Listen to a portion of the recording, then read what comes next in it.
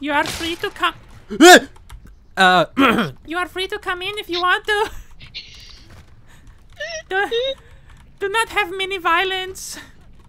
Do you enjoy watching me duck in real life? I just realized that I do that.